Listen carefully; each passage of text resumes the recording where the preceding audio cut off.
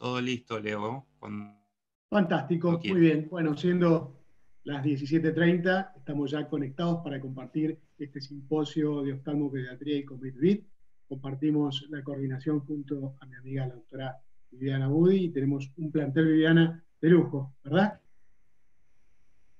Excelente plantel. Un lujo realmente estar por Zoom con todos ustedes.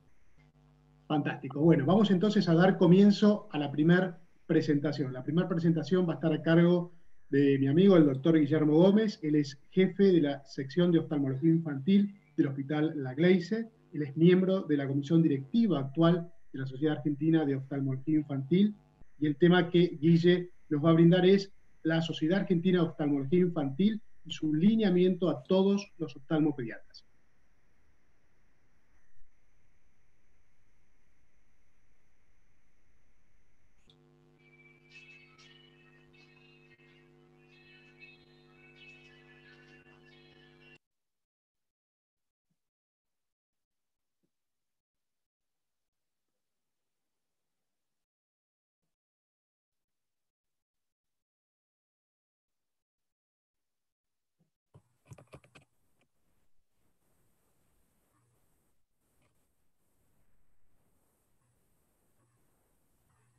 Guillermo. ¿Se escucha? Ahora sí que te habilité porque estaba apagado el micrófono. Ya me parecía. Bueno, muchas gracias Leo y Viviana por la invitación. Es un gusto compartir esto con ustedes. Y la verdad que esto es algo nuevo para todos, no solo el Zoom, sino también esta patología que nos agarra a todos desprevenidos y tenemos que ver cómo salimos adelante acá.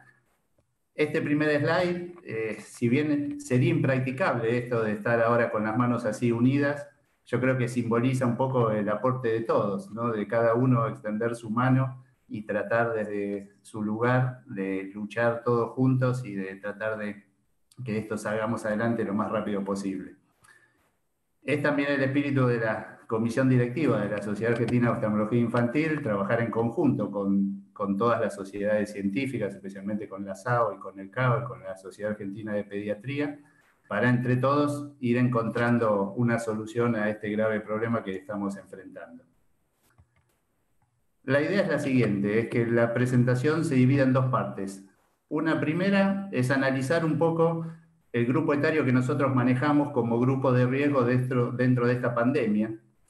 Y por otro lado, ver qué recomendaciones generales desde el punto de vista de la sociedad le podemos dar a todos los oftalmopediatras. Lo primero que se me plantea es, ¿son los niños realmente menos susceptibles al COVID-19? O sea, tanto se habla que los chicos están menos expuestos y que es una enfermedad de adultos mayores. Eh, me interesaría saber eso más que nada. Y hay pocos datos todavía. Las cosas están escritas pero todavía no publicadas. Recién hay datos que aparecen recién en el mes de febrero de, en China, donde se analizaron 44.672 casos y de esos solamente el 0,9% correspondía a la edad entre 0 y 10 años y el 1,2% correspondía a la edad entre 10 y 19 años. Es decir, que un 2% de los infectados correspondería al grupo etario entre 0 y 20 grados y 20 años. Este, estos datos son importantes, no son importantes, no hay muchos antecedentes para compararlos. Los únicos antecedentes que hay publicados son antecedentes de lo que fue la gripe A en el año 2009, donde se vio que hubo un mayor, una mayor mortalidad en el grupo entre 5 y 59 años, comparados con otros periodos de gripe epidémica. Y en relación al COVID-19, la tasa de mortalidad de todos los virus que producen distrés respiratorio se encuentra entre el 7 y el 17%, siendo mucho más alto en, mayores de 65 años y pacientes con alguna enfermedad de base, principalmente hipertensión arterial, diabetes o trastornos cardiovasculares. Sin embargo, en estas estadísticas no se registran casos de mortalidad en el grupo entre 0 y 24 años, con lo cual los chicos parecerían estar bastantes exentos de este problema. Ahora, ¿cuáles serían las razones de esa relativa resistencia? ¿qué sugerencias hay? Primero, los chicos tendrían una respuesta inmune innata más activa, un tracto respiratorio más sano y menor cantidad de enfermedades de base, con lo cual los haría menos predispuestos a sufrir esta enfermedad. Ahora, todo esto recién se está sabiendo, hay muchas cosas que todavía están en investigaciones, están abriendo distintas líneas de investigación. La principal diferencia estaría en la distribución, maduración y el funcionamiento de los receptores virales EK2, los receptores de la enzima convertidora de angiotensina 2.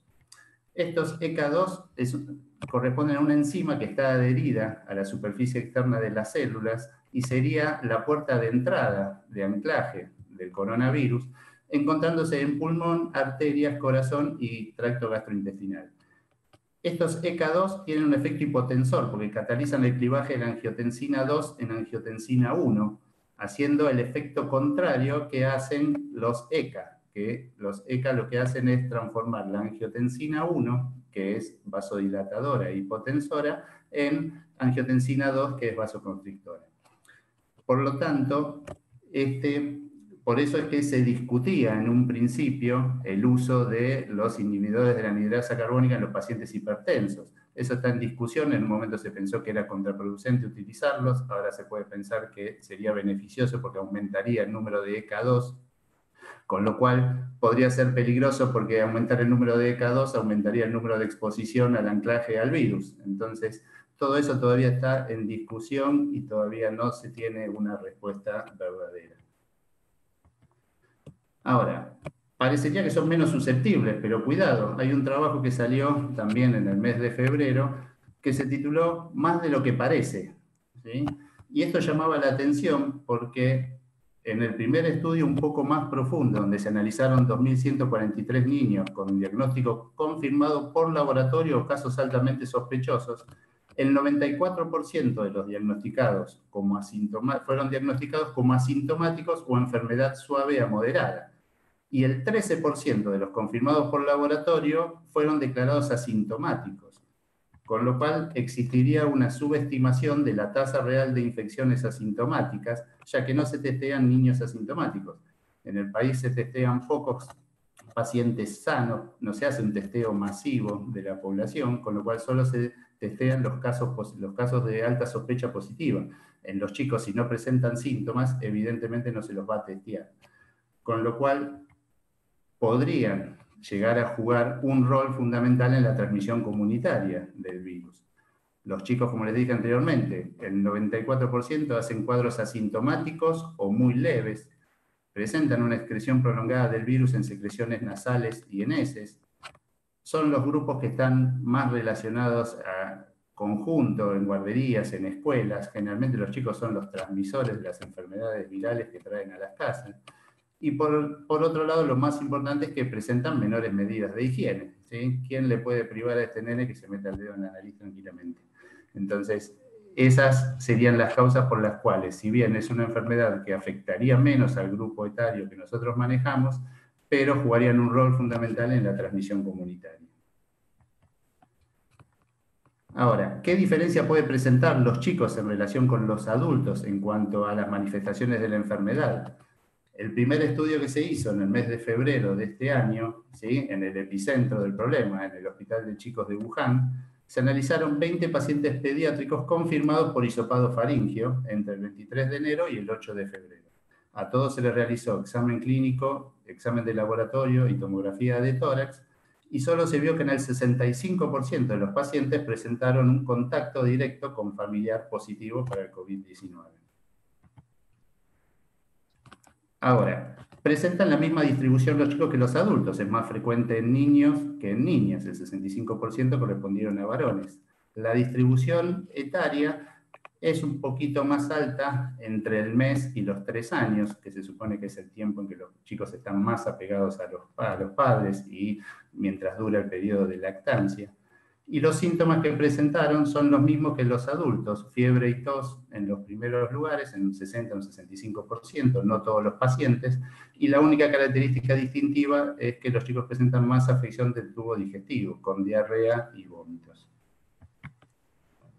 En cuanto al laboratorio, a diferencia de los adultos, que presentan generalmente leucocitosis, el 70% de los chicos presenta células blancas normales, pero a diferencia también de los adultos, presentan un mayor, número de linfocitosis, un 50% presentan más de un 45% de linfocitos.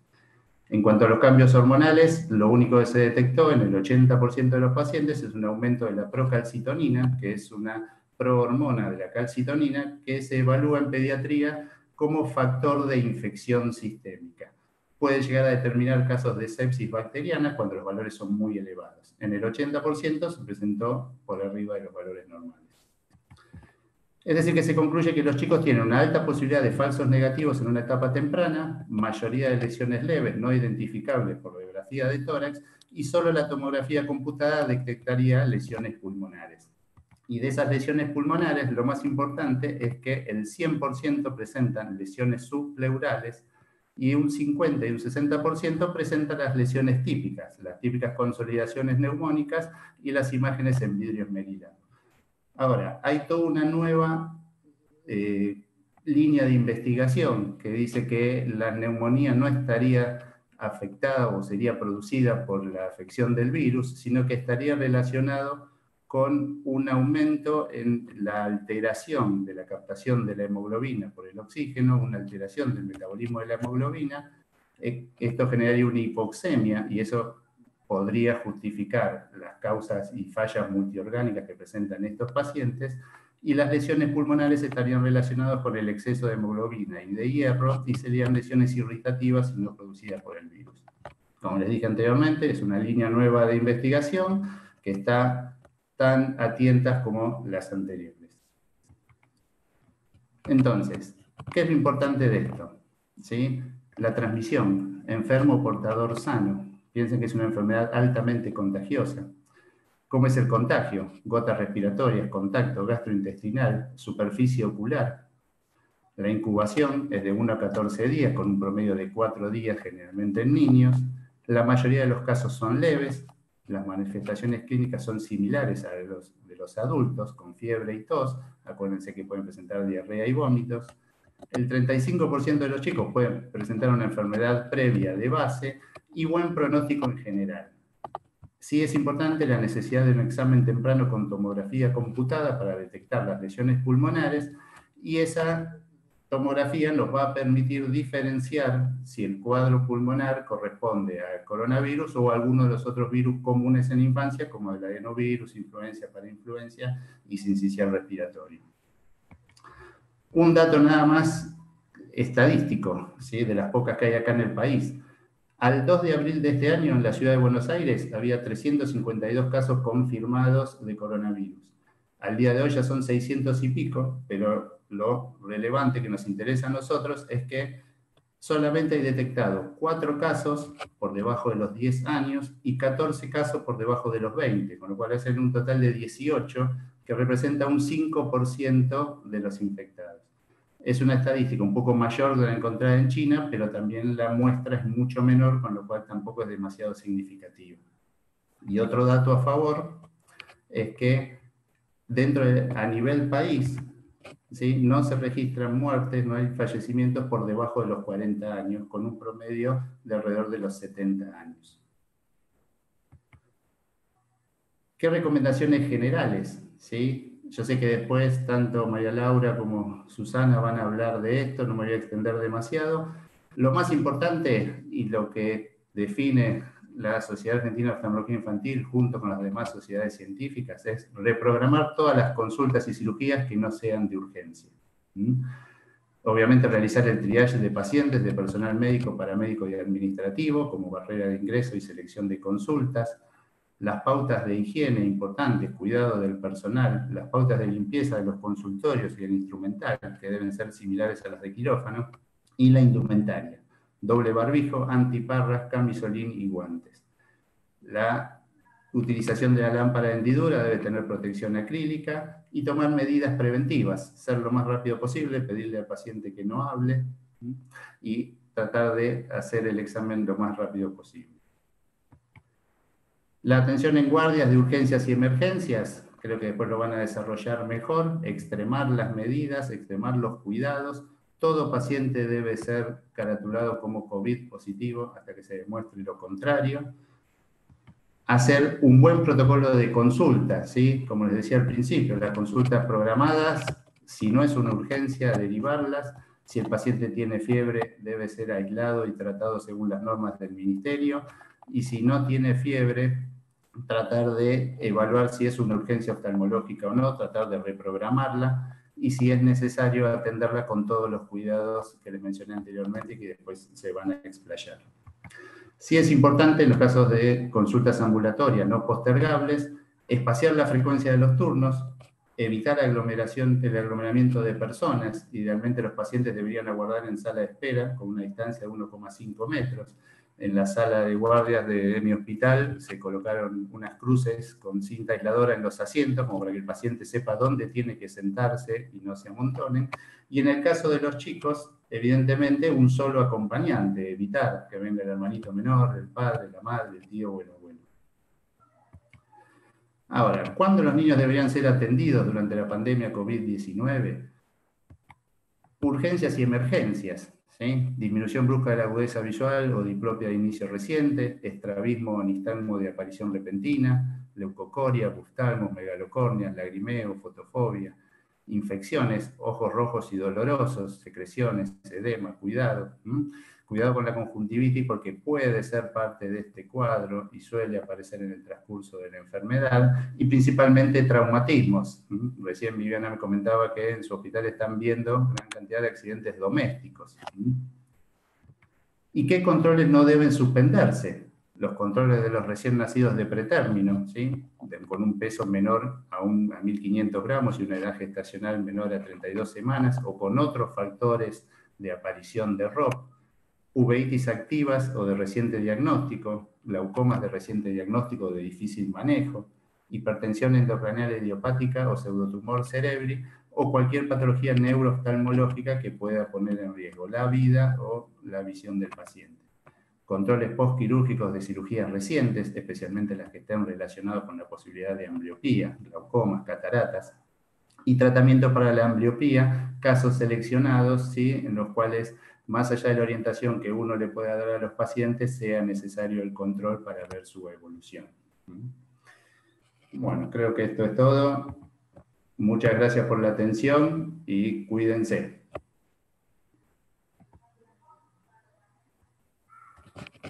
Muchísimas gracias, Guille, por tu presentación. Por favor, Viviana, continuamos con, con el simposio. Y ahora voy a tener el gusto de presentar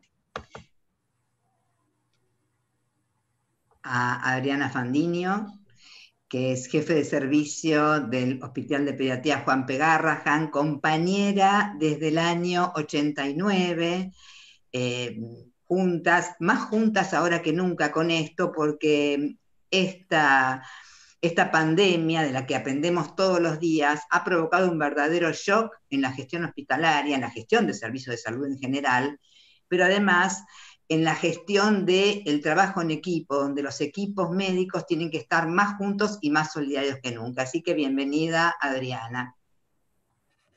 ¿Qué tal? ¿Me escuchan ahí? Sí, perfecto. Sí. Ahora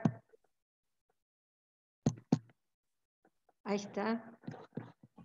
¿Se ve la pantalla?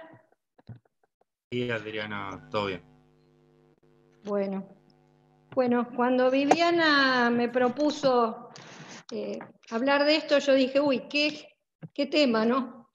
Eh, primero quiero agradecer a todo, el, a todo el servicio, mi servicio de oftalmología, a todos mis queridos compañeros, en especial a Vivi, a Beatriz, las jefes de clínica que me están ayudando un montón a todos los médicos de planta que, están trabajando en el hospital y cuando les toca teletrabajo desde su casa contestan todas las, dudas, las inquietudes de los pacientes. Y los becarios que realmente son un ejército eh, en, el trabajo diario de todos los días. Y bueno, realmente eh, quiero darle unas gracias que en mayúsculas porque realmente sin ellos no se puede hacer nada. Bueno, hacerlo adecuado en una emergencia de salud pública es difícil, es muy difícil. Sobre todo cuando entran en conflictos valores y deberes que nos comprometen. Valores que nos comprometen a nosotros los trabajadores de la salud, a toda la institución en conjunto y a la salud de los enfermos. Y este, este conflicto lleva muchas veces a eh, sacar lo mejor y lo peor de las personas, como pasa en una guerra, supongo. No me tocó, nos tocó de lejos la de las Malvinas, pero bueno, yo creo que es, una situación que llegó a, un grado que nunca imaginamos que íbamos a vivir algo así. Y eh, gestionar en este momento en una institución tan grande como es el hospital que tenemos nosotros es muy difícil y muy conflictivo. Y me ha costado muchos días de, incluso de, sentirme mal y de, caer en subir y bajar. Pero bueno, eh, nos hemos tomado la responsabilidad eh, a cargo y realmente uno se encontró con muchas idas y venidas que le debe haber pasado en todos los hospitales, idas y venidas donde el primer día que se habló de esto no, no se va a suspender la, atención programada y después a los dos días hubo que suspender toda la atención programada. Eh, no hace falta, bueno, las embarazadas no hay problema y de repente las embarazadas era problema. Por suerte nosotros siempre teníamos el apoyo de, nuestras instituciones, SAO, CAO, SAOI, que iban más adelante de, lo que en el hospital se hablaba, y eso me ayudó muchísimo a tomar decisiones internas en mi servicio. A mí me daban los barbijos en cuenta gota, no me daban, no teníamos antiparras, no teníamos nada, la verdad. El hospital no estaba preparado para una cosa así, realmente. Fue una, una sorpresa bastante, al principio desagradable. Después fue cambiando, pero las reglas de juego cambiaban constantemente y a veces uno tiene que tomar decisiones antes de que le digan qué hacer. Hay distintos protocolos, los protocolos fueron cambiando y por suerte fueron adoptando todo lo que nosotros como oftalmólogos ya decíamos. Hay a veces un exceso y, una, y a veces hay una falta de información en algunas personas, y ese exceso de información también a veces, eh, quiero llamar la atención, que tratemos de no compartir información que no sea de, una, de, una, de un medio seguro, porque eso crea confusión y crea al final falta de información. Asusta a muchas personas, muchas personas se sienten, tienen pánico y reaccionan eh, distintas reacciones y a veces eso estorba o hace que se tomen actitudes desafortunadas o que se usen mal los medios de protección, por ejemplo. Hay que tratar de ser claro y no crear pánico y también hacer tomar conciencia a los casos que hoy comentaban en, el chat de, Leop, que había casos que no se ponían el barbijo, total, a mí no me va a pasar. Realmente hay que educar y constantemente a, nuestros colegas a veces. Y de repente nos apareció esta amenaza invisible. Eh, esta, era uno de los primeros días, agarramos el lampazo y, y con Viviana y Rosita empezamos a luchar contra un enemigo invisible, pero nos dimos cuenta de que a pesar de lo jocoso de esto, estábamos entrando en un en un, eh, en un estadio de gran responsabilidad. Ser parte de un equipo, como la foto que puso Guillermo al inicio, ¿no? Eh, estamos trabajando quizá no mano a mano, sino codo a codo, pero eh, a un metro y medio o dos, pero hay que ser, somos un equipo. Un equipo como somos siempre los oftalmopediatras, que realmente tenemos una especialidad que creo que pocas tienen lo que nosotros tenemos. Y hay tres líneas más importantes para tomar esta responsabilidad como líder de un grupo, ¿no? Planificando la atención, protegiendo a los pacientes y sobre todo al personal de salud que uno tiene a cargo y la misión de guiar.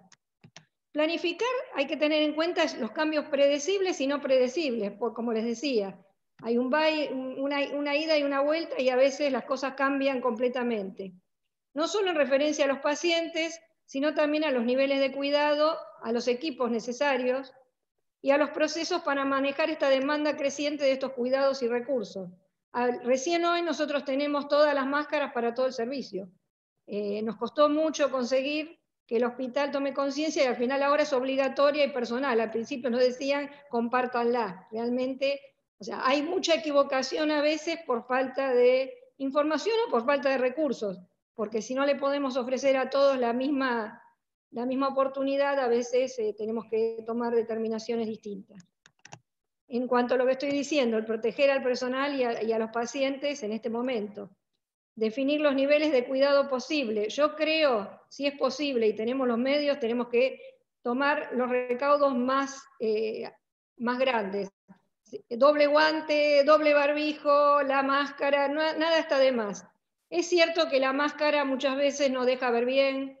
Ayer hicimos estudios bajo anestesia de, de retinoblastomas con Mariana Esgroy y realmente hay momentos en que nos tenemos que sacar la máscara para poder examinar algunas cosas porque no, no permite ver bien. Y esta tensión entre la igualdad y la equidad de la distribución de los recursos que son escasos. Por ejemplo, a mí ayer, después de que terminamos con un caso que tenía un antecedente dudoso, no era positivo, pero tenía un antecedente de un contacto lejano, eh, quisimos, llamamos al, a la gente de limpieza y ellos no le, a ellos, que son una empresa contratada y no depende del hospital, no le dan todos los niveles de cuidado que tienen que tener. Así que le tuvimos que proveer nosotros para que pueda limpiar la zona donde estuvimos haciendo anestesia. Realmente eso a veces a uno lo pone muy mal. El foco siempre tiene que estar en la seguridad del paciente, del personal sanitario y del que nos ayuda. Y tener en cuenta también cómo se asignan los recursos para cuando no, quizá en algún momento, cuando si esto se pone peor, puede ser que falten recursos. Entonces hay que estar eh, gestionando constantemente este tema. ¿Cómo fue el proceso en nuestro hospital? Un poco lo que dijo, no me voy a extender, lo que dijo Guillermo, se suspendió toda la actividad programada, se creó un comité de crisis que, en el que está la dirección, que tiene relación con el Ministerio de Salud. Eh, al principio, ya les digo, empezaron como lentos, ahora ya están mucho mejor.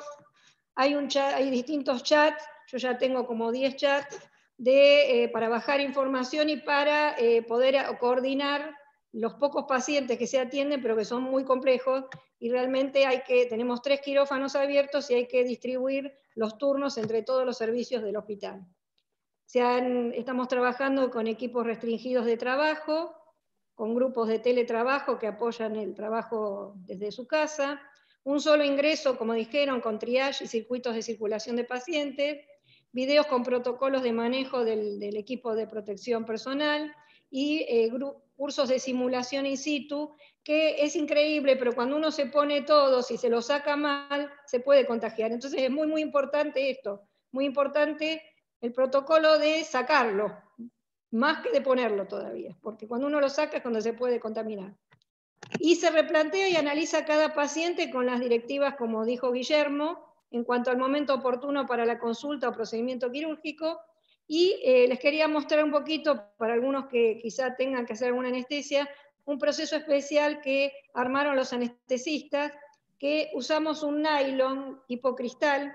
En el momento de, la, de la inducción anestésica, que es con vapores en niños, como no le podemos poner la vía antes, en ese momento es el más riesgoso donde podemos aspirar eh, material, si el paciente está, es positivo o es portador, podemos eh, tener vaporizado eh, partículas virales. Entonces, bueno, con toda la protección, doble barbijo, doble guante, el camisolín impermeable, y en el momento que le pone la mascarita, tiene colocado un nylon para que los vapores queden por debajo. No se puede utilizar máscara laringea en estos casos, y o se intuba o se coloca la mascarita y se mantiene con el nylon. El problema es que el nylon hay que levantarlo cuando tenemos que hacer eh, nuestros procedimientos, y ahí es muy importante también que nosotros tengamos la máscara y doble barbijo, el N95 y el otro arriba. Bueno, en cuanto a guiar, ahí es donde nos tenemos que, desarrollar como líderes, manejar razonablemente la incertidumbre sin tomar decisiones apuradas, sin el consenso adecuado, cada líder tiene que aceptar la responsabilidad y actuar en consecuencia, sabiendo que nuestro accionar va a ser determinante para todos, para los pacientes, para nuestros compañeros, para toda la comunidad. Bueno, estamos todos juntos en esto. Yo no veo el momento que realmente podamos decir, bueno, ya no está más, esa cruz roja significa que el virus no está más. Y realmente a mí lo que más me está costando es no ver a mis nietas y poder abrazarlas. Muchas gracias.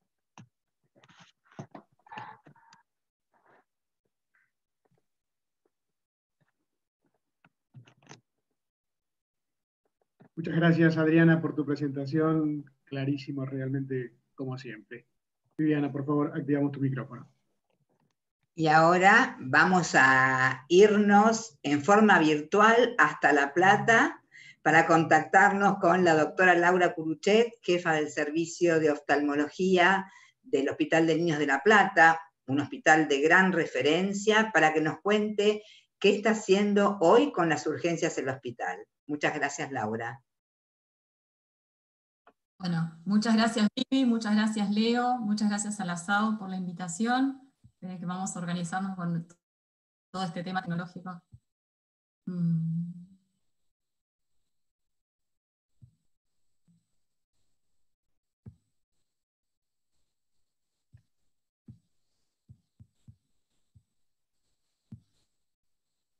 Bueno, eh, como cuando Vivi me invitó a dar la charla, eh, le planteé que la realidad, más que de lo de la urgencia, la idea es contarles un poquito cómo estamos trabajando. Eh, en realidad, todos tenemos este tema del coronavirus, pero bueno, cómo estamos trabajando nosotros en el servicio de oftalmología.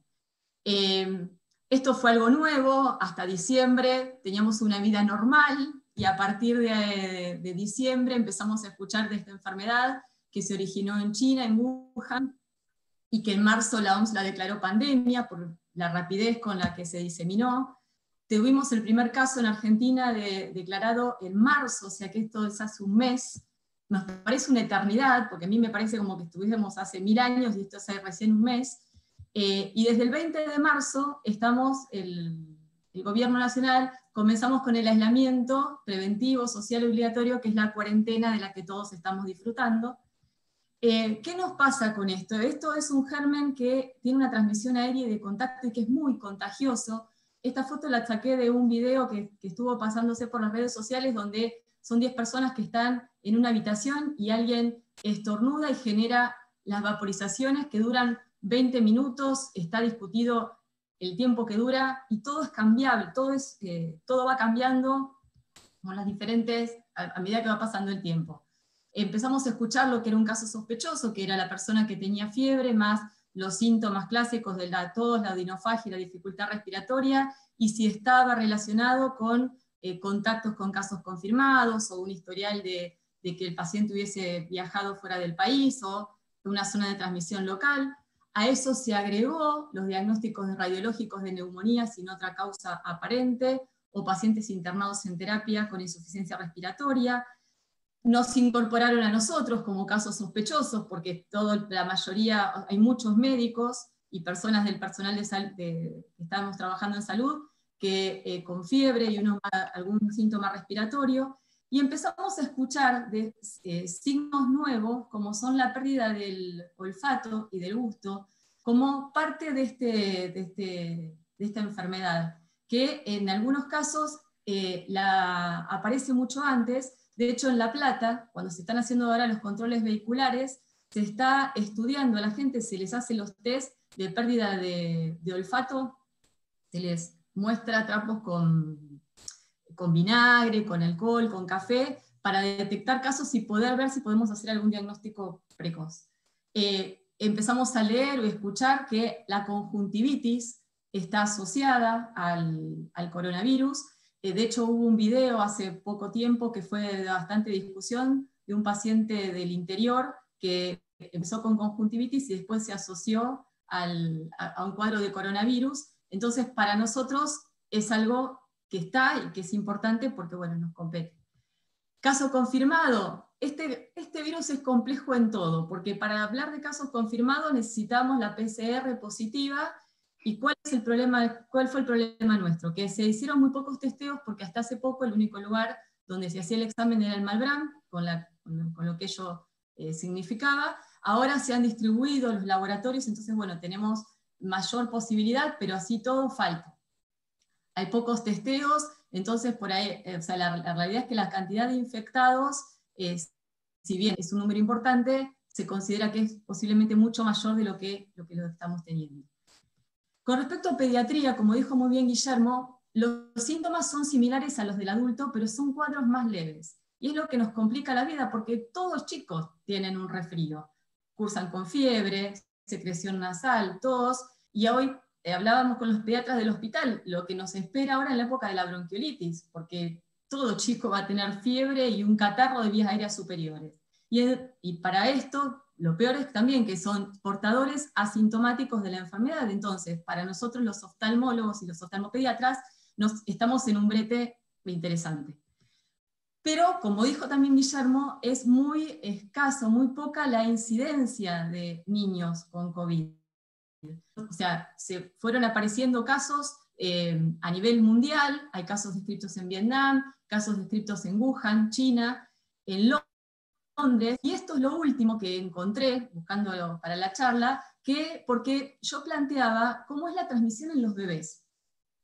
Y en realidad eh, está discutido si la transmisión es vertical, porque se hicieron los estudios de las mamás COVID positivas, se estudió em, eh, sangre de cordón, se estudió la leche, y en realidad todo fue negativo. Entonces, lo que se considera la, que, la transmisión es horizontal. Entonces, lo que están haciendo ahora en Tailandia es cuando nacen los bebés, les ponen las pantallitas para prevenir el contagio. Eh, estuve consultando qué está pasando en Argentina y me explicaban que acá eh, a las mamás COVID positivas les piden que se saque leche. O sea, a nivel en, Europa les permiten eh, amamantar con barbijo, pero acá en Argentina el consejo por ahora, por lo que me dijeron en el hospital, la, gente de infectología con la que charlé, es que les piden que se saquen leche y que le, que le den mamadera. Todo esto era obviamente material del extranjero, pero empezamos a tener nuestros pacientes. El primer confirmado, que, se, dio el 15 de marzo. Entonces, con todo esto, empezamos a, eh, los entes gubernamentales, a darnos parámetros de cómo teníamos que manejarnos ante esto. El Ministerio de Salud de Nación, de provincia, la gente del Consejo Argentino de Oftalmología fue muy precoz en eh, preparar recomendaciones, nos ayudó mucho también la sociedad, la sociedad española, los webinars que estamos escuchando, y con todo eso empezamos a tomar recaudos eh, y cambiar nuestro modo de trabajo. Entonces, ¿qué, eh, es, lo que estamos haciendo? ¿Qué es lo que se hizo? A nivel hospitalario, eh, el hospital lo que hizo fue empezar a colocar carteles en las salas de espera con formato para pacientes pediátricos y em, haciendo hincapié en la importancia del lavado de manos, se estableció en el hospital un triage al ingreso de los pacientes, se, eh, se, estableció un ingreso diferente para los médicos, para el personal de salud y para los pacientes. Hay hospitales que yo sé que ya eso es, este, que lo hacen desde mucho tiempo, como el Garraja, pero bueno, acá en La Plata lo que se hizo, a partir de esto, se cambió toda la estructura del hospital. Se suspendió la actividad en áreas comunes, se quitaron juguetes o zonas o elementos que, se puedan, que puedan compartir los chicos y que pudiesen estar contaminados y poder transmitir la enfermedad. Esto es un patio que tenemos nosotros, donde los chicos normalmente juegan y, hay este, carritos y autitos. Así está el hospital, desierto. Se está trabajando solamente con urgencias, cada servicio, cada eh, organizó la urgencia con la que va a trabajar, y nosotros a nivel servicio también, obviamente, tuvimos que reorganizar en base a todas las recomendaciones que, fuimos leyendo y que fuimos recibiendo. Al, cuando llega el paciente también le hacemos un mínimo interrogatorio, un triage, más allá de la patología, a ver si hay algo que nos pueda hacer sospechar que el paciente, más allá de lo que tiene, puede haber tenido contacto con algún paciente contaminado. Cuando llega el niño, les entregamos al, al, a la mamá y al chiquito un barbijo para que ingrese le ponemos, perdón, alcohol en gel en las manos, eh, hablando con, diferentes médicos y, con gente que, nos fue asesorando, también lo que hicimos fue implementar un paño, iba a decir un trapo, pero me dijeron, no podés, es una charla, con eh, lavandina diluida. Entonces lo que hacemos es pedirle a los pacientes cuando ingresan, inclusive nosotros entramos y salimos para hacer alguna interconsulta, eh, todos herramientas para evitar eh, la contaminación del servicio. ¿Qué hicimos? Como muy bien dijo Adriana, eh, suspendimos los turnos y suspendimos las cirugías programadas. Para eso las redes sociales son una ayuda fenomenal.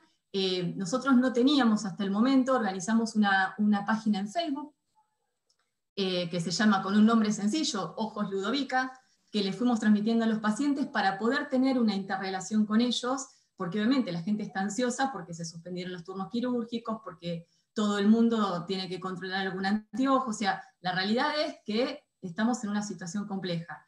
Estamos haciendo algo de telemedicina como podemos, o sea, algunos pacientes que hemos tenido que hacer controles de cirugía y que les hemos dado el teléfono, eh, nos estamos manejando los controles también por vía WhatsApp organizan de manera, o, sea, como estamos trabajando con la guardia, hicimos, o sea, generamos un consultorio de guardia eh, al, ingreso del servicio. Em, también lo que se hizo con lo mínimo, el consultorio tiene lo, o sea, lo básico y para poder hacer un examen lo más completo del paciente, pero lámpara de hendidura, tenemos el lobby, la camilla, hay un escritorio, pero sacamos todo lo que se pueda contaminar. Eh, establecimos también equipos médicos, o sea, nos dividimos para poder, eh, cada equipo tiene médico, enfermero y secretario, porque bueno, si obviamente tenemos la complicación de que alguno de nosotros se llegase a infectar, ese equipo entraría en cuarentena y no se alteraría el funcionamiento del, del servicio porque seguiría trabajando el otro equipo. O sea, nos vamos acomodando. Pero ¿cómo nos estamos cuidando? Tenemos medidas de prevención, aislamiento de, con aislamiento de contacto y transmisión por gota. Estamos guiándonos con los lineamientos, las recomendaciones que nos dieron los expertos, usando barbijo, guantes, camisolín y máscaras durante la exploración. Las máscaras, a ver, mi opinión personal es complejo. Viví yo, la verdad que eh, intento y uno trata de dar la mejor atención al paciente pero también las máscaras depende, obviamente, hemos recibido donaciones que agradecemos un montón eh, y el hospital nos ha proveído de algunas, pero a veces la construcción de la máscara por el 3D depende de una separación que, que tiene entonces, y es complejo poder hacer un examen como a uno le gustaría, pero bueno, lo estamos, eh, lo, estamos obviamente, lo estamos arreglando de la mejor manera. Y después, esto es lo ideal, eh, acá teníamos todo, pero por ahí en la semana se complicaba la, conseguir insumos, eso por ahí después lo podemos charlar después de la charla, porque está complejo el tema de los insumos. Este, eh, uno quiere trabajar con lo mejor, como nos plantean, pero es complicado, es complicado um, bastante. Eh, obviamente tenemos lo mismo, o sea, seguimos con el lavado de manos, limpieza, una vez que terminamos de trabajar, se limpia todo, las mentoneras, todo lo que se utiliza se limpia para protección nuestra y, del paciente que, bueno, que vamos a seguir eh, evaluando.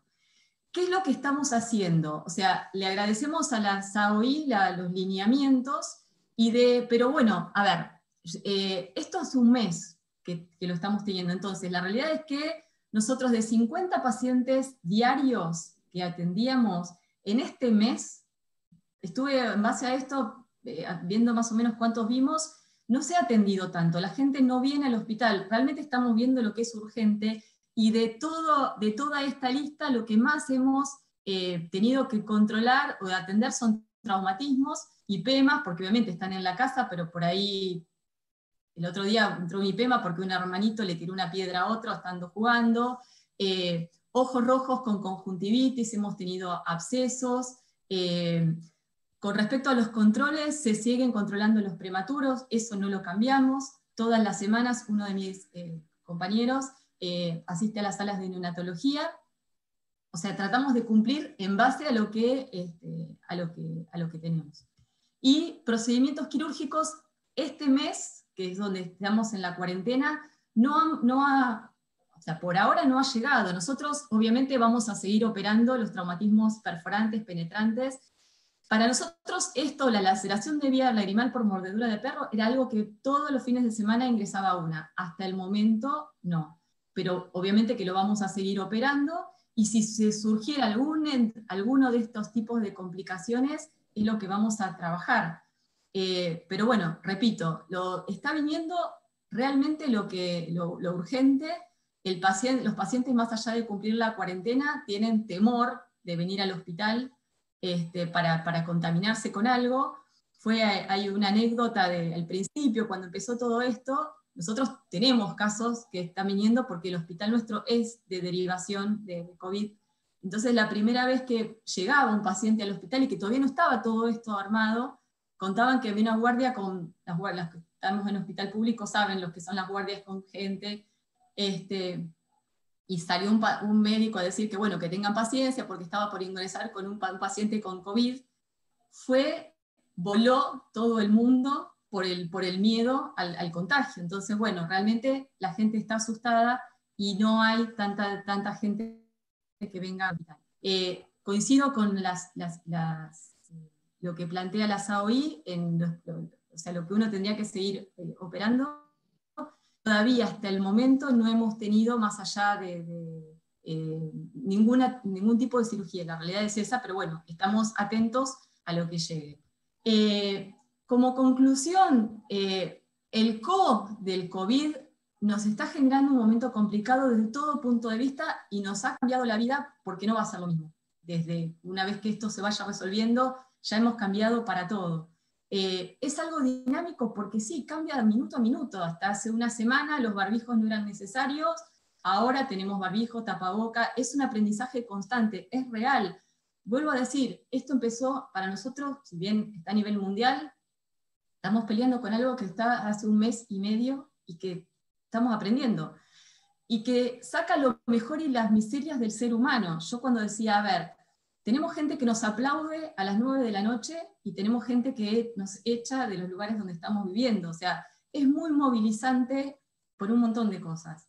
Eh, genera solidaridad. Eh, la solidaridad es una de las cosas que más me, a nivel de entre colegas, entre la gente que nos dona cosas, que se acerca, ingenio, porque realmente entre las, cuando uno pasa los diseños de las máscaras, lo que pasa, los mismos WhatsApp y los memes que vamos recibiendo, también todo, todo, es algo que, está generando esto. El trabajo en equipo, como decía Adriana, es fundamental porque eh, solos no podemos. Eh, eh, es cierto lo de cuando uno se cambia y se descambia. El otro día tuvimos un, una, vinieron a instruirnos y realmente cuando hicimos la prueba, eh, sí, lo que nos aconsejan es que siempre haya alguien externo a, la gente que se está cambiando, como supervisando, haciendo como un checklist, porque ahí es donde está el contagio. Hacer en realidad, más allá de la urgencia, siempre tenemos que cuidarnos nosotros, con los elementos de protección, eh, porque realmente eh, es algo complejo, es muy difícil poder eh, evitar el contagio, pero bueno, tenemos que hacerlo. Eh, cuidarnos entre todos es fundamental, es lo, que, es lo que nos piden y realmente es así. Y para cerrar, dos cosas. Primero esto, el 2020 es un año que no lo vamos a olvidar en nuestra vida, realmente, porque es un antes y un después. El 2020 nos trajo el COVID-19, pero también nos trajo la solución al COVID. Y realmente cuando vi esto, es un síntesis ya que eh, con 20 segundos y un muy buen lavado de manos y dos metros de distancia, eh, no tenemos ninguna excusa, este, eh, quedémonos en nuestra casa. Y si todo esto no funciona, ¿sí? siempre hay una instancia, hay gente que tiene la capacidad de ver más allá y bueno, a la que podemos recurrir si vemos que nos sentimos desbordados, porque bueno, nos pueden dar una respuesta a esto, no va a importar el presidente. Habla que va a haber dinero, que va a haber Ah. Es un buen año para viajar. Viajar, conocer ah. una persona en el extranjero. ¿Conociste un chongo? Las chicas que están ahí que dicen, ay, conocí un chongo en otro lado del mundo. Bueno, anda a verlo, le va a bien. ¿Para qué se están buscando trabajo?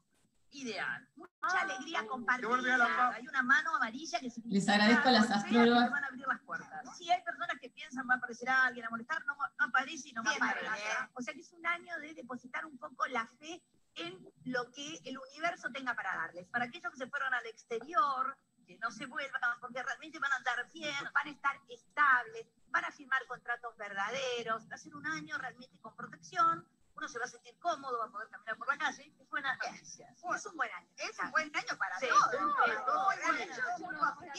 Bueno, les agradezco. Me pareció una síntesis con algo positivo en todo esto que, bueno, que, que nos está pasando. Así que de nuevo, gracias a todos. Muchas gracias, María Laura. Esperemos que todas esas predicciones las queremos para el 2021, por favor. Muchas gracias por volcar tu experiencia. Gracias. Bueno, y ahora vamos a pasar entonces a la presentación de Guillermo Monteolivas, que él es referente de la red de ROP de la provincia de Buenos Aires y está en la comisión de Oropar. Un placer, Guille, escucharte. Recuerden, por favor, que cada uno tiene 10 minutos, así podemos dar cierre a este simposio de oftalmopediatría y COVID-19. Perfecto. Bueno, buenas tardes a todos. Gracias por la invitación a la, a SAO y a Vivi y Leo. Eh, a ver si abre. Ahí. Vamos a hablar un poquito de la, la contingencia en la pandemia con respecto a la retinopatía del prematuro como dijo recién eh, Laura, sabemos,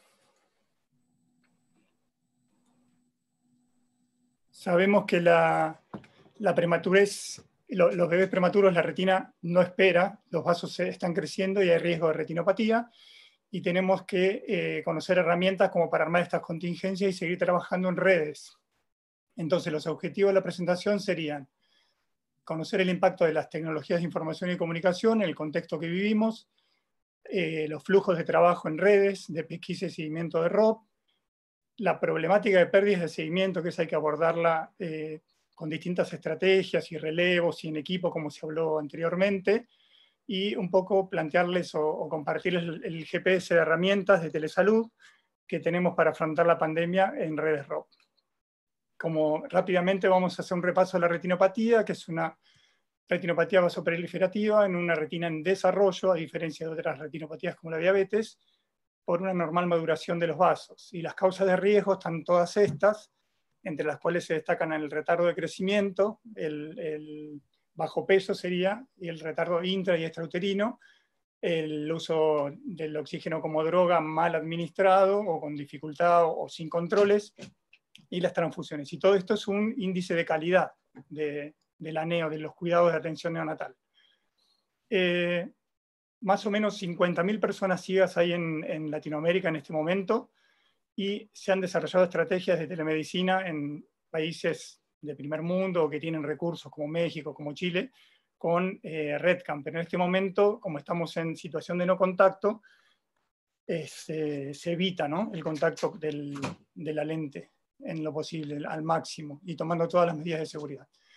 Eh, la importancia de las TICs en salud permiten manejar eh, la información eh, de un modo compartido para la toma de decisiones, en modo seguro, cuando estamos usando historia clínica electrónica, mejoran las comunicaciones con el equipo, también con el paciente, permiten toma de decisiones compartidas, y es un recurso para tomar decisiones en microgestión a nivel del aneo de cada uno, a nivel de mesogestión en redes y macro, los decisores de salud pública, los gobiernos, las secretarias de salud y los ministerios. Tenemos en Argentina un riesgo elevado de retinopatía, un 1.1% de los prematuros están en riesgo eh, de quedar ciegos por ROP tipo 1 o grave, eso nos da más de entre 8.000 y 9.000 bebés por año en riesgo de ceguera. Entonces tenemos que tomar acciones y no dejar de controlarlos en este contexto. Saben que trabajamos en redes, el, tema de las redes itinerantes eh, se empezó hace unos años a través del surgimiento de la tecnología smartphone, que esto cambió un poco todo el modo de, trabajar a través de las imágenes de la retina, ¿no? en retinopatía. Entonces, las necesidades que tenemos para estos contextos y cualquier contexto de trabajo en redes es construir las redes itinerantes para evitar el traslado de los bebés, que no vayan ni al tratamiento eh, ni a los controles en lo posible, y a través de las imágenes con personal capacitado y en equipo se puede hacer el seguimiento e indicar el tratamiento y el seguimiento. Y también evitar las pérdidas. Eh, los diagnósticos los hacemos por telemedicina, de los tratamientos itinerantes, y el problema que tenemos para las redes es el alto costo de la RedCam eh, para armar estas redes de telemedicina. Entonces estamos tratando de implementar a través del smartphone, se ha creado un grupo que ya participa en las 24 provincias, es el Oropar, ya todos lo conocen, o la mayoría. Y como herramientas tenemos tres como para ofrecer eh, con la tecnología mobile, que son los dispositivos smartphone para eh, grabar la retina del bebé o la técnica smartphone manual, está el aplicativo ROP21 del grupo de San Juan, de Europar San Juan, y el Europar Córdoba desarrolló la, aplicación para calcular el ROP score, que ahora hablamos rápidamente un poquito de eso. Todo esto de, las redes y la prevención de cegueras eh, surge en agradecimiento a todos los pioneros de la prevención de ceguera en ROP, que la idea era estar todos conectados y se pudo concretar gracias al surgimiento de la tecnología móvil, la internet y ahora es lo que se llama ubicuidad, que estamos todos juntos al mismo momento, al mismo tiempo. Surge el tema de la pandemia y empiezan a proponerse y a, surgir conceptos de la medicina post-pandemia, acá en la revista Forbes, en La Nación, una necesidad ante la pandemia, esto va a venir, va, va a ser el post-pandemia, o sea, se va a empezar a hacer estrategias seguro y se va a invertir mucho más dinero en, estas, en este tipo de redes utilizando la tecnología. Entonces, ¿qué tenemos para la tecnología smartphone para COVID?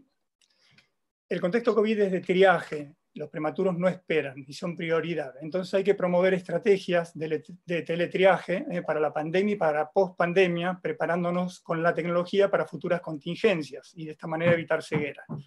Hay que empezar a validar porque para todos los procesos de salud digital se necesitan herramientas válidas. Para cada neo validar el ROP score, validar las imágenes smartphone, todo tiene que estar validado para armar las redes.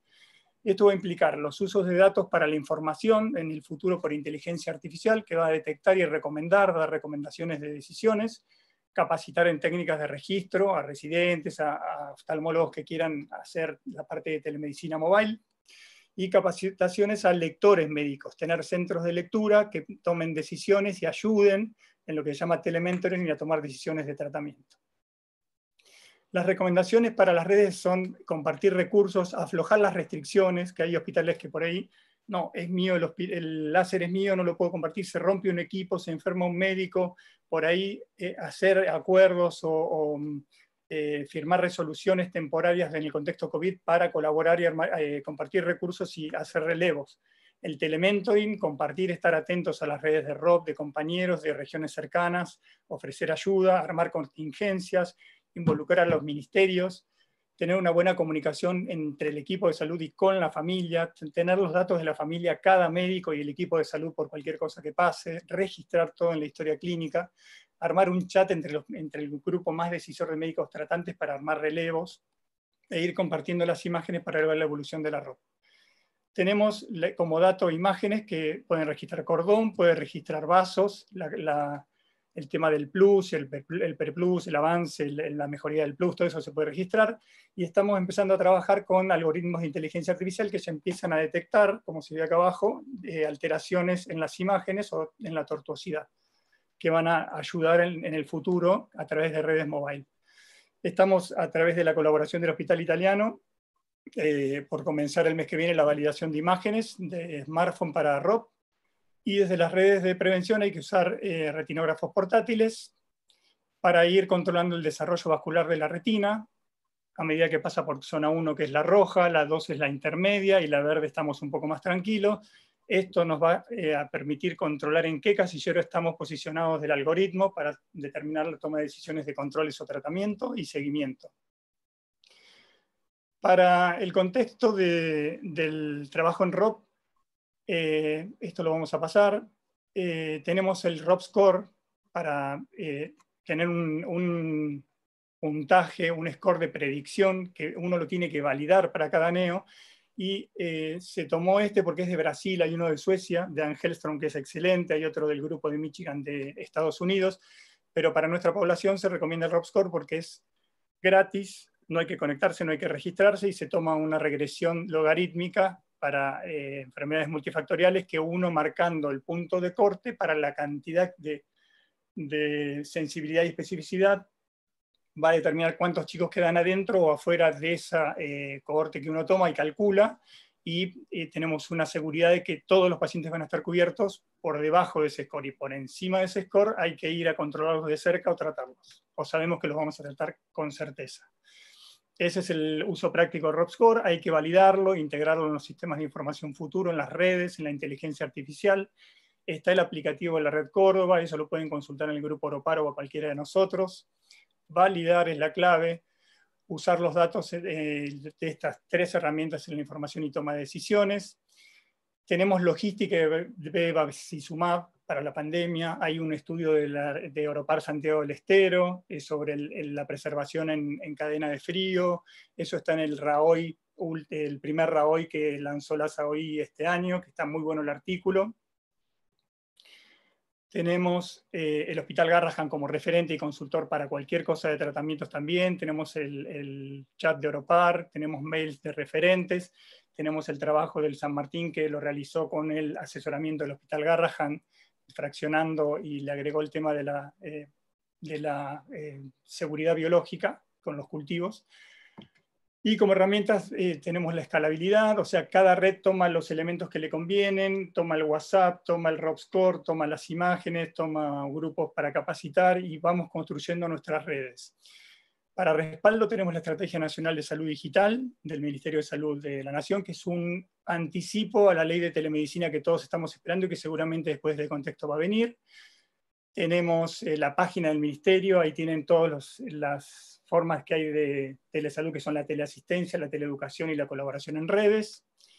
Tenemos el grupo asesor, a la derecha está, de, telesalud, que se puede consultar a través de grupos científicos, sociedades o, cualquier grupo de hospitales puede consultarlo.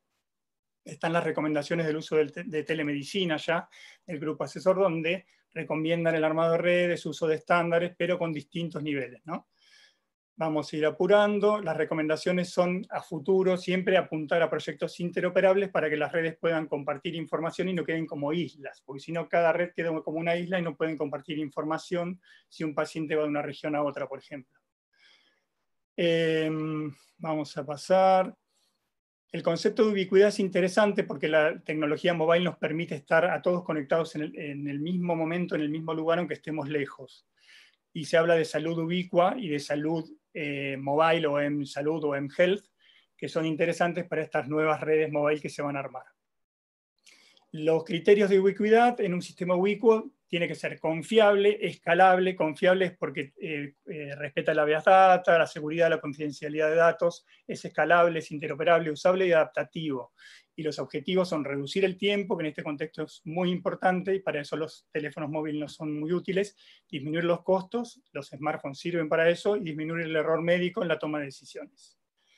La interoperabilidad, hay diversos niveles, van aumentando la complejidad, pero tenemos que trabajar ahora en este contexto armando entre teléfonos celulares y grupos de WhatsApp, como sea. Aunque no haya seguridad en este momento, después lo escalamos y vamos agregando otros tipos de interoperabilidad.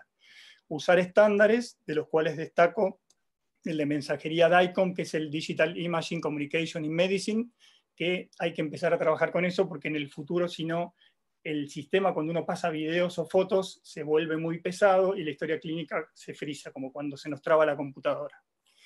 Bueno, entonces en el contexto eh, COVID tenemos que eh, asegurar la atención médica, sobre todo en ROP. Está el gobierno habilitando el uso de plataformas de teleconsultas. Hay legislaciones, hay en el boletín oficial publicadas cosas al respecto. Tenemos en el, herramientas, si las quieren buscar en internet, de la FDA, eh, que puso eh, políticas nuevas en el contexto COVID para aflojar todas esas restricciones que pone y todos esos em, requisitos que pone para, usar eh, las redes y usar la tecnología mobile. Y lo que, lo que es interesante de esto de la FDA, que uno lo toma como referencia, es que promueve adaptaciones de los teléfonos celulares para evitar el contacto en el contexto COVID y lograr la atención de los pacientes. Después lo pueden revisar esto en Internet y crean códigos para eh, respaldarse legalmente. O sea, es interesante ir a, la FDA. Eh, esto lo pueden ver ustedes después. Después la SAOI también, ya lo dijo Guillermo Gómez, eh, las recomendaciones donde figura ROP en primer lugar como, como la causa que no se puede ni dejar de tratar y es una urgencia cuando hay una ROP tipo 1. Hay recomendaciones del grupo ROP que las pueden ir revisando también o las piden a los grupos de referentes compañeros de cada región. Y está el curso para todos, para los enfermeros, neonatólogos, eh, oftalmólogos, lo, anunció el grupo ROP en UNICEF, en la plataforma eh, Campus Virtual de UNICEF, se vuelve a ser ayornado, actualizado en este contexto de las tecnologías de información y comunicación mobile. En la Academia Americana hay eh, tips de teleoftalmología también en el contexto COVID, Y para terminar, en este contexto de toda esta información y datos mobile que podemos tener para armar como si fueran bolsas de Lego nuestras propias redes y trabajar tranquilos, bajar el estrés, estar comunicados, relevados, separar equipos, como decía Laura, para, por si un grupo se enferma y el otro entre en, acción y que los bebés eh, no corran peligro de ceguera. Tenemos eh, ya validada la telemedicina con Redcam, pero tenemos que validar con smartphone tenemos que trabajar en algoritmos con capacitaciones, la utilidad de la tecnología, usar el ROPSCORE. Y eh, esto lo voy a pasar rápido, apuntar un poco a zona 1, o sea, en las capacitaciones a los médicos que filmen los vasos del nervio óptico y alrededores para ver que no haya plus. Entonces el algoritmo tenemos de la L roja, que es lo urgente, tenemos ya bastante cubierto. Y después como de máxima, cinco fotografías con smartphone que después se van a reconstruir por inteligencia artificial. ¿Cuál es el futuro de la salud digital en ROP? La inteligencia artificial, la big data, los tableros de control, como ahora ven, vieron los cuadros de situación del, Ministerio de Salud, donde reciben la información de todos lados y permite tomas de decisiones con mucho más información, toma de decisiones oportuna, evitar error médico, seguimiento integrado y adecuado, las transiciones, que es algo que, instaló un poco Vivi desde la, gestión anterior de Saboy, las transiciones entre equipos se pueden eh, hacer con información compartida e interoperable, Estamos empezando a trabajar en un proyecto de atención primaria mobile, de prevención de ceguera por ROP, diabetes y, si podemos, por catarata, con tecnología smartphone, y eh, con la tecnología de Big Data y, algoritmos de anticipación, podemos hacer data analysis a futuro. Si cargamos a la Big Data toda esta información, vamos a poder tener información de ROP Score, información de imágenes smartphone validadas, digitales, información de eh, si en el futuro se empiezan a usar bioseñales que se suban a Big Data del registro de oxígeno, cuál si coincide o no con la indicación del médico. Eh, información del peso por balanzas digitales. Todo esto en Big Data nos va a permitir hacer un análisis y ese conjunto de datos todos revueltos se les va a poder dar forma en decisiones eh, adecuadas. Y eh, de los tableros de control que les decía, se van a poder tener eh, información hasta, si quieren, de la genómica, de las, de las imágenes, del algoritmo donde estamos parados y tener la el georreferenciamiento en redes de qué bebé necesita su tratamiento. Por eso la tecnología es súper importante avanzar en estos procesos de salud digital. Conclusiones, armar estrategias mobile de diagnóstico, toma de decisiones y seguimiento, capacitar, hacer relevos, apoyarse en las TICs, construir proyectos escalables con estándares, apostar a la salud digital en la toma de decisiones, usar a futuro, cuando pase todo esto en unos años, Big Data. Y antes de cerrar, quiero eh, dedicar este, este, pequeño momento a los que no paramos en ningún momento de la semana, eh, nos levantamos temprano para agarrar trenes vacíos, subtes vacíos, micros vacíos, encontramos calles vacías, los que dejan a su familia, los que se quedan con su familia en los relevos y comparten y les enseñan las mamás que educan a sus hijos, los chats del social del Oropardo, nos reímos y nos, un poco nos descomprimimos eh, de tanta tensión a veces. Y bueno, muchas gracias. Muchísimas gracias, Guille, por tu presentación. Siempre es un placer escucharte. Y ahora vamos a nuestras últimas dos presentaciones. Vamos a escuchar ahora los tips en teleoftalmología. Para eso lo invitamos a Fernando Giuso, que es profesor en medicina y coordinador de teleoftalmología del Hospital Italiano de Buenos Aires. Muchas gracias, Fernando, por participar.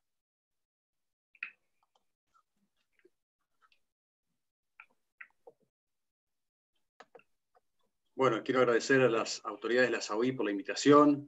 Gracias, Vivi. Gracias, mi amigo Leo. A las autoridades de la SAO por permitirnos este espacio de desarrollar. La verdad que aprendí muchísimo. Yo no soy oftalmopediatra, pero estuve muy atento a cada una de las situaciones. Guille está haciendo un trabajo fantástico en San Justo con todo lo que es eh, la retinopatía del prematuro. Yo les voy a, transmitir, y estuve sacando un par de, cositas que, que, estuve escuchando de cada uno de ustedes, y yo decía a medida que iban hablando y que iban dando una información valiosísima, qué importante sería poder aplicar la teleoftalmología en el triage. Los objetivos de la charla van a ser mostrar que la telemedicina es una herramienta eficaz y de gran utilidad, sobre todo en época de pandemia. Les voy a compartir la modalidad de teleoftalmología de guardia, que es algo que desarrollamos con mucho esfuerzo y mucho trabajo y empezó a funcionar hace un mes y la verdad que está dando resultados fantásticos.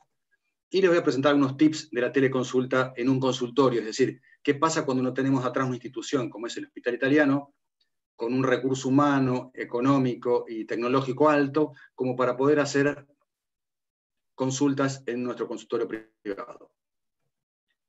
Cuando a mí me dicen la, la telemedicina es algo nuevo, es algo que se viene, esto se viene desarrollando hace muchísimo tiempo. Hace muchísimo tiempo, ya se daba en el año 35 apoyo en barcos, hasta que llegamos en el año 80 con Store and Forward. O sea que esto no es nuevo. Tal vez ahora, con el tema de la pandemia, todo el mundo esté hablando de la telemedicina, pero esto no es nuevo. La ATA, bueno, para ponernos en contexto, ¿cómo lo define la Asociación Americana? Es el uso de la información médica intercambiada de un sitio, de un sitio a otro hasta de las TIC. Y la teleoftalmología no es más que el cuidado de la salud visual o de la oftalmología dentro de la telemedicina.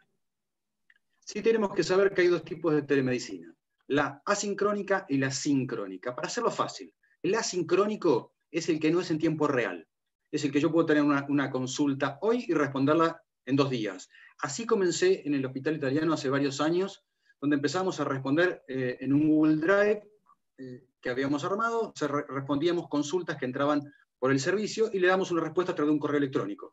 Eso también es telemedicina. Y la sincrónica es en tiempo real. Si bien acá dice equipos masivamente disponibles y sofisticados, hoy en día todos tenemos un smartphone para poder hacer telemedicina. ¿Quiénes se benefician con esto? Todo el sistema se beneficia. Las aseguradoras, los pacientes, los hospitales, el gobierno, la empresa, los médicos, las farmacias. Todo el mundo que está en el negocio de la salud y que se entienda bien el negocio de la salud son beneficiados. Cuando yo daba estas charlas hace muchos años, tenía muchísimos eh, detractores. ¿Y saben dónde estaba la, mayor resistencia en esta charla? Porque ahora todo el mundo quiere hacer telemedicina. Pero ¿saben dónde estaba, la mayor resistencia? En los colegas porque decían que con la telemedicina lo que íbamos a hacer era sacarle trabajo al colega y lo iban a implementar una máquina. No es verdad. Es simplemente que el colega tiene que aprender a usar una nueva herramienta. Nos pasó a los que, los que empezamos a hacer FACO en los 90. Se hacía unas extracapsular en 7, 8, 10, 12 minutos los grandes cirujanos. Y de repente aprender a usar una, una nueva tecnología tiene sus contras. Pero esto es exactamente igual. Acá no se le va a sacar trabajo a nadie. Todo lo contrario. Y quedó demostrado en esta época. A ver, cuando nosotros hablamos de los, de toda la segmentación que tiene, no es que solamente vamos a hacer asistencia, vamos a intercambiar imágenes, está el e-learning, que es la educación médica, lo que estamos haciendo es, telemedicina, teleconsulta por monitoreo, intercambio de información, o sea, tenemos unas aplicaciones segmentadas en todos los aspectos. Y la presencia a nivel mundial está en todos lados. Ustedes piensen que todas las imágenes que les voy a mostrar ahora no son de datos actuales. Fíjense que se, se estimaba, se estimaba que iba a tener un 25% anual en los próximos cinco años de crecimiento y se estimaba 5.4 millones de videoconsultas para el 2020. Yo no tengo la estadística de ahora, pero se, ha triplicado. En el hospital italiano, por ejemplo, se pasaron todas las consultas programadas, todas las programadas, se pasaron a teleconsultas programadas. O sea que, si bien el mercado se va a cuadriplicar, decían en el 2017, esto ya, con el tema de la pandemia, rompió todos los esquemas. ¿Quiénes la estaban haciendo en esa época? Todo el mundo. El hospital italiano lo viene haciendo hace un tiempo, pero hoy en día se han sumado muchísimas prepagas, muchas obras sociales que están haciendo en forma cotidiana, colegios médicos, médicos en sus consultorios. Los beneficios de la telemedicina son muchísimos. Yo no los voy a, nombrar y a dimensionar uno por uno, pero sí quiero tratar en el tema de la, de la situación actual, cuando yo planteé este tema en el hospital y que tuve el apoyo para poder desarrollarlo del teletriage, yo lo que quería es que todos aquellos pacientes asintomáticos positivos no concurran al hospital y no me infecten colegas. Ese era el gran objetivo que yo tenía. ¿Por qué? Porque el personal de salud está muy expuesto. Más allá de que nosotros tomemos todas las medidas necesarias, hay una realidad. Tenemos que trabajar. ¿Por qué? Porque necesitamos el factor económico para poder subsistir. La gran mayoría de los médicos somos personales que facturamos, no es que tenemos un cargo, la, gran mayoría no estamos nombrados, somos externos, facturamos, es decir, tenemos producción económica por el trabajo que hacemos. Trabajamos, cobramos, no trabajamos, no cobramos. Entonces, ¿cómo se me ocurrió para todos estos médicos que tenían una, una baja en la atención médica y que las cirugías programadas han bajado enormemente, como todos dijeron, dije, bueno, ¿por qué no armar un teletriage? Entonces, en el teletriage, en vez de que el paciente ingrese por la guardia, que vaya directamente a la guardia del teletriage. Y ahí nosotros veremos cómo vamos a, dirigir ese paciente a una consulta. Recuerden que las consultas son orientativas en el teletriage y en telemedicina. Nosotros no, no hacer un diagnóstico, un tratamiento. Si tenemos una duda en oftalmología, lo vamos a tener que citar al paciente a la guardia. Lo importante acá es dirimir en aquellas situaciones que no son urgencias o emergencias y que pueden esperar y que uno lo puede tranquilamente tratar por el teletriage y además cobrarlo. Las dificultades, hay muchísimas dificultades. Por supuesto que hay dificultades cuando uno tiene una herramienta nueva informática, el uso sobre todo para las personas que no están eh, habituadas, la, parte de las políticas. A ver, yo creo que la gran dificultad que vamos a tener, y esto lo digo por mi perfil legal, es el tema de la confidencialidad y la privacidad y seguridad de los datos. Nosotros no podemos hacer telemedicina en un contexto general donde los pacientes, los, el personal de una institución o nuestros familiares estén circulando atrás nuestro y que el paciente vea ese contexto. El contexto de la telemedicina tiene que ser un contexto muy privado, un contexto de mucha confidencialidad, de jerarquizar, de estar bien vestidos, de estar con el guardapolvo, de que no haya ruidos, de que no circule nadie, que el ambiente atrás nuestro sea un ambiente muy, eh, muy blanco, eh, sin nada que llame la atención, donde uno pueda llegar a tener una, confianza con el, paciente, poder mirar a la cámara, eh, no gesticular delante de la cámara porque eso horroriza no levantarse y moverse. Hay un montón de cuestiones que tienen que ver con esto, por supuesto, que es el aprendizaje del uso de esta nueva herramienta. ¿Cuál es la situación médico-legal de la telemedicina en la pandemia en Argentina? Y yo se lo voy a decir con conocimiento de causa porque defiendo médicos. A ver, yo he hablado con los grandes gerentes de las compañías de seguro, todos cubren la telemedicina. Ya lo cubrían en la telemedicina. Lo que sucede es que ahora en un contexto de pandemia hay muchos más casos y todas las compañías lo van a, la van a cubrir. Las sociedades nuestras, Sociedad Argentina, Consejo Argentino de Oftalmología, avalan el uso de la telemedicina. O sea, no es que estamos haciendo algo ilegal. Nuestras sociedades están diciendo que la telemedicina o la teleoftalmología es de curso corriente. La SAMOL, de la cual formo parte, que es la Sociedad Argentina de Médicos Oftalmólogos y Legistas, que defendemos médicos, hemos diseñado un consentimiento informado acorde a la, situación de la pandemia y estamos dando aval también al, uso de la telemedicina. Dos cosas hay que, hay que tener en claro que se van a necesitar. Ya sea que tengamos una historia clínica en papel o electrónica, todo el acto que nosotros registremos con el paciente tiene que estar escrito y volcado en la historia clínica. Y por supuesto que si no tenemos una herramienta como la que yo le voy a mostrar del hospital italiano, que tengo una aceptación y uso de condiciones de la, herramienta, tengo que tener un consentimiento informado. Y todos me preguntan, Fernando, ¿cómo hacemos para mandar un consentimiento informado? Bueno, después les voy a mostrar cómo se puede hacer en forma pragmática para bajarlo a la realidad. Este es el hospital italiano.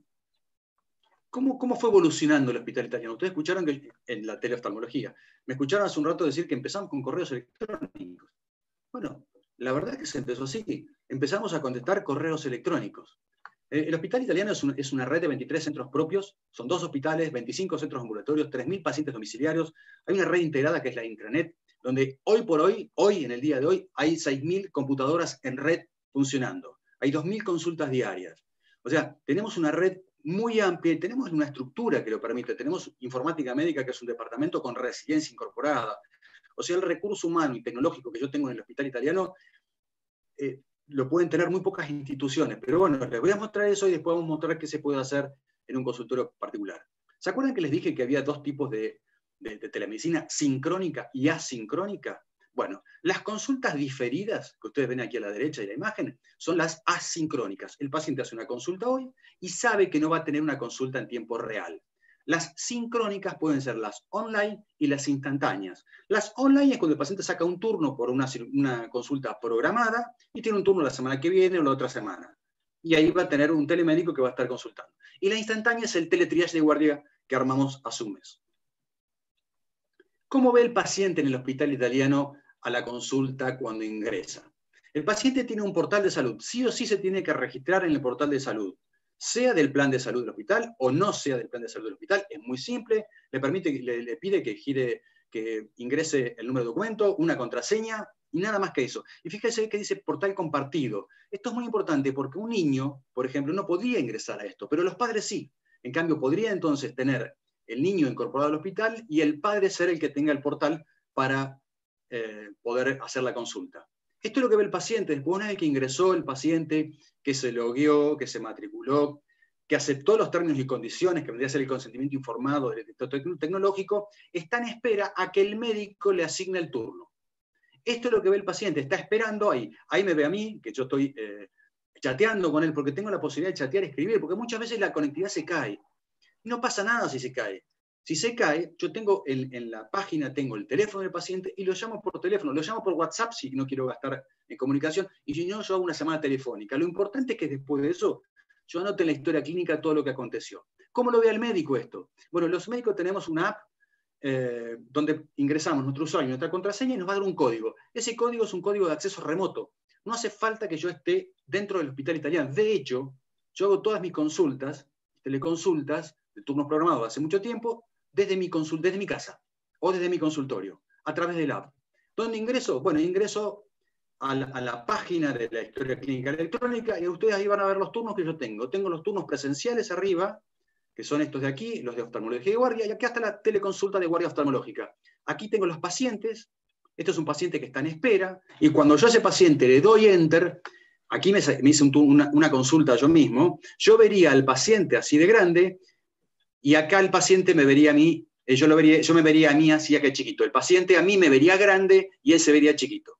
Fíjense que yo tengo la posibilidad aquí de apagar mi micrófono, de apagar mi imagen, de salir de la imagen o de terminar la consulta. Y aquí al lado, yo lo que tengo es la posibilidad de escribir y chatear con el paciente, porque si muchas veces se nos cae, se nos cae eh, internet, yo puedo chatear con ese paciente a un costado. O sea, todo esto es importante porque yo después lo voy a anotar, lo voy a dejar anotado en una historia clínica electrónica. Ahora, ¿Qué hago en mi consultorio? En mi consultorio en provincia, donde yo tengo un fronto, una lámpara en duro y un cartel. ¿Qué puedo hacer? Y encima en este, este tiempo de COVID y pandemia, ¿cómo podemos hacer para que un médico en consultorio en forma simple y sencilla pueda ganar dinero en un tiempo de pandemia haciendo un teletriage o telemedicina? Hay herramientas muy básicas e inmediatas para poder utilizar. Todas las conocemos. Google, eh, Hangouts de Meet, de Google. Está incorporado la app de Google. Uno no tiene más que ingresar por, por Gmail o por Google Más y tengo la posibilidad de tener 10 10 contactos, o G Suite, que si es eh, una, que pertenece a una, a una, empresa, puedo tener hasta 25 personas, puedo compartir la pantalla y es gratis. Yo necesito tener una sola persona del otro lado. Hoy en día está en boga Zoom, que es líder en el mercado, que permite grabar las sesiones, también comparte, son 40 minutos gratis, y después, si yo quiero más tiempo, tengo cuatro niveles de precios.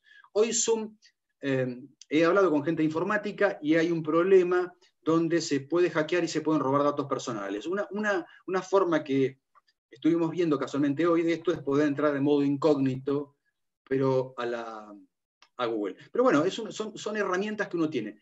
Otras herramientas más simples que no son tan, yo no las recomiendo tanto, pero bueno, que sirven y que las hemos usado mucho es Skype. Skype me permite hacer llamadas y videollamadas grupales y compartir archivos y es gratis. Si pago, también puedo hacer llamadas y SMS. Y otra es FaceTime. La única diferencia que tiene FaceTime con Skype, que son muy similares, es que es exclusivo de Apple tengo que tener una idea y me puedo comunicar siempre y cuando la otra persona del otro lado tenga Apple. Eh, tiene una, resolución muy buena, FaceTime, y también es gratuito. A ver, hay cosas que hay que sincerar. ¿Venimos haciendo ciertas cosas y sin pandemia o no? Piensen, WhatsApp, ¿hemos contestado WhatsApp por teléfono? ¿Sí o no? Y además, ¿nos han pagado alguna vez por esto? Yo nunca cobré un solo WhatsApp o una videollamada o un chat. Teléfono, ¿cuántas llamadas telefónicas hemos, hemos hecho? o correos electrónicos. ¿Alguna vez han eh, respondido algo por correo electrónico? Bueno, qué fantástico que poder usar esto, que también es telemedicina, poder usarlo y poder cobrarlo, sobre todo en estas épocas tan difíciles que se vienen desde el punto de vista económico. Lo único importante, recuerden de esto, es que cada acto que uno haga, háganlo por FaceTime, Skype, eh, por Meet, eh, por correos electrónicos, por WhatsApp, por llamadas telefónicas, por lo que quieran, asienten todo, todo en la historia clínica. Una cosa le voy a decir respecto al consentimiento informado que a veces me preguntan, ¿cómo hago si estoy en un Zoom para mandar un consentimiento informado? Bueno, lo que hay que hacer es, yo tengo que hacer con ese paciente cuando me consulta es mandarle una foto por WhatsApp o mandársela por correo a ese consentimiento que nosotros ahí eh, les mostré, un consentimiento de la SAO que, que, armamos, que es un consentimiento, es un consenso de la Sociedad Argentina de Médicos Oftalmólogos y, y Legistas, o el que quiera. por favor. ¿Cómo? Las conclusiones, por favor. Sí para que lo puedan utilizar. Lo perfecto es enemigo de lo bueno, o sea que no tenemos que estar esperando a estar trabajando en una, una super compañía, podemos empezar a, a, a, tener telemedicina. La telemedicina se ha vuelto una herramienta de uso crítico en épocas de pandemia. Las compañías de seguro lo cubren, no significa que no vamos a tener juicios, pero sí que lo van a cubrir. Las entidades académicas nos avalan. Se requiere una ley y aportes económicos estatales y privados, que la ley va a salir sin, sin lugar a dudas, y le dejo dos condiciones. Asentar toda la historia clínica y solicitar consentimiento informado. Muchas gracias. Muchas gracias, Muchísimas Fernando. gracias, Fernando. Y ahora, por favor, Viviana, invitamos a nuestra última panelista que va a ser muy breve su presentación. Muy bien, nos vamos con los bolsos y el Zoom rápidamente para Río Cuarto. Ahí nos espera Susana Zavalo, de la red oftalmológica, oftalmopediatra de Río Cuarto, para contarnos qué hace la telemedicina, la importancia en nuestra consulta diaria de oftalmopediatría. Herramienta que vino para quedarse y seguir creciendo. Gracias.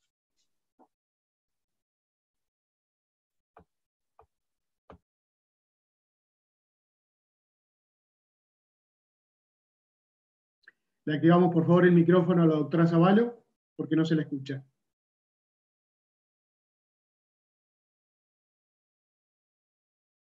Por favor, Fabio, el micrófono para la doctora Zavalo. ahí está. Eh, bueno, dado lo breve que deberíamos ser, eh, les agradezco mucho, Vivi, Leo, amigos de muchos años, de estar aquí y a la SAO por invitarme. Y si bien el tema del simposio es telemedicina, lo que me han pedido ustedes es hablar de teleconsulta y de la teleconsulta en cuarentena. La telemedicina es todo lo que el doctor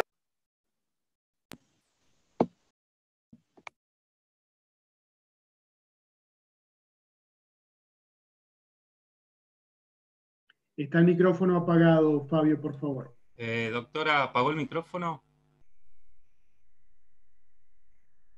Ahí vamos. Doctora, Ahora Sí, sí. ahí está, está. está prendido, pero no me corre.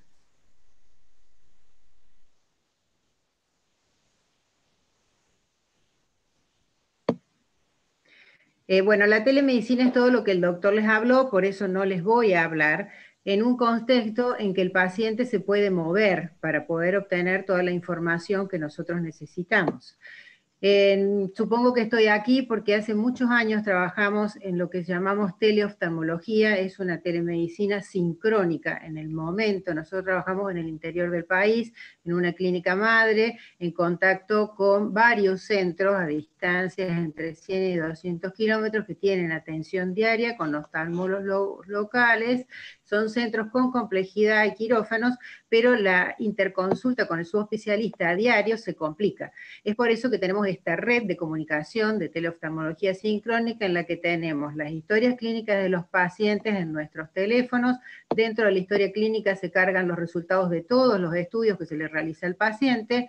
Y lo que tenemos muy útil son cámaras en las lámparas de hendidura que nos envían simultáneamente en el momento que el operador está mirando al paciente la imagen tan nítida como la ven acá, porque estas fotos son sacadas del monitor del consultorio central de la clínica que uno va recibiendo en el examen del paciente. Entonces, esto es una, una herramienta fantástica que nos permite diagnosticar, resolver, tratar e incluso seguir a los pacientes. Pero no es lo que podemos hacer hoy, donde nosotros no nos podemos movilizar y el paciente tampoco. Entonces, el objetivo de esto es ver qué- cuáles son los beneficios y las limitaciones de esta teleconsulta en la que eh, tratamos de mirar los ojos de un niño que está sentado en la falda de la mamá tratando de escaparse, a la que le tenemos que explicar a la mamá cuáles son las maniobras para poder revisarlo, que lo tiene que acercar para permitirnos ver los ojos, y en los que además no tenemos acceso a ningún tipo de otra información, ni agudeza visual, ni refracción, ni fondo de ojos. Entonces, es una situación un poco más compleja, pero no imposible. Pero en esta situación lo más importante es realizar una buena anamnesis con preguntas muy bien dirigidas a la patología que suponemos que tiene por lo que estamos viendo, y además, fundamental, si nos pueden enviar alguna foto por alguna otra vía, como puede ser por teléfono, porque la foto permite ampliarse, está quieta y nos permite ver mucho mejor que en la cámara de video. Y en esta teleconsulta, que es la consulta que podríamos hacer en cualquier consultorio básico de oftalmopediatra, vamos a poder diagnosticar varias patologías, sobre todo de ojo, de ojo externo y superficie ocular, como las que ven acá. También así las conjuntivitis, y acá en esta época tendremos que ver si se asocian a otros síntomas como para sospechar COVID y derivarlo, o simplemente lo podemos tratar. También podemos ver algunos signos que puedan hablarnos de una conjuntivitis alérgica y tratarla como tal, o cosas más banales como una hemorragia, el edema de, párpado de este paciente, que es un simple picadura de insecto. Esto es una patología más severa lo que tiene este niño, que es un angioma, pero tiene su eje visual libre. Entonces, perfectamente podemos tranquilizar a los padres y postergar la consulta para cuando finalice la cuarentena. No así van a ser en casos como estos, donde sabemos que necesitan una terapia con antibióticos de urgencia y concurrir a un, centro donde pueda hacérsele algo más. También vamos a poder diagnosticar un estrabismo, pero sin conocer su causa. Si tenemos un papá besado, vamos a poder inferir la presencia de una ambliopía o no, como en el caso de este niño que fija y alterna con ambos ojos. Si tenemos un papá que puede ocluirle el ojo, como estamos haciendo con este oclusor, quizás podemos sospechar la ambliopía si el niño siempre fija con lo mismo, pero no vamos a saber de qué etiología es. Si conocemos el paciente, podremos reanudar un tratamiento oclusivo. Y sí es muy importante la teleconsulta en los casos de pacientes que ya están en tratamiento. Entonces, acompañarlos en su tratamiento, aumentar la adhesión al tratamiento oclusivo, que todos sabemos que se pierde muy fácilmente. Podemos también sospechar otras patologías y derivarlas, como si vemos un edema, presencia, sospechar glaucomas, sospechar cataratas congénitas. Y otra herramienta para la cual yo la considero muy útil es el seguimiento de pacientes que ya conocemos, ya sea pacientes en tratamiento o sean pacientes operados. Estos son todos pacientes operados que podemos ver una excelente evolución. Ahora, en el caso, que no voy por cuestión de tiempo, no vamos a referirnos, pero en el caso de esta niña es una paciente operada de catarata con una lente intraocular, que a los 10 días la mamá llama que su ojo está más rojo, que le molesta la luz, que no la ve tan bien. Y es una niña que no puede concurrir porque es de una provincia cerrada como es San Luis. Eh, al indagar con las preguntas y la anamnesis, nos damos cuenta que no le colocan las gotas como corresponde, entonces decidimos hacer un goteo rápido de corticoides, reconectarnos a las cuatro horas y vemos que el ojo realmente mejora. Entonces ya podemos inferir un proceso inflamatorio y no un endoftalmitis y generar un poco de tranquilidad, aunque no evitar una consulta. Entonces, para estos casos, realmente esta limitada teleconsulta es muy útil.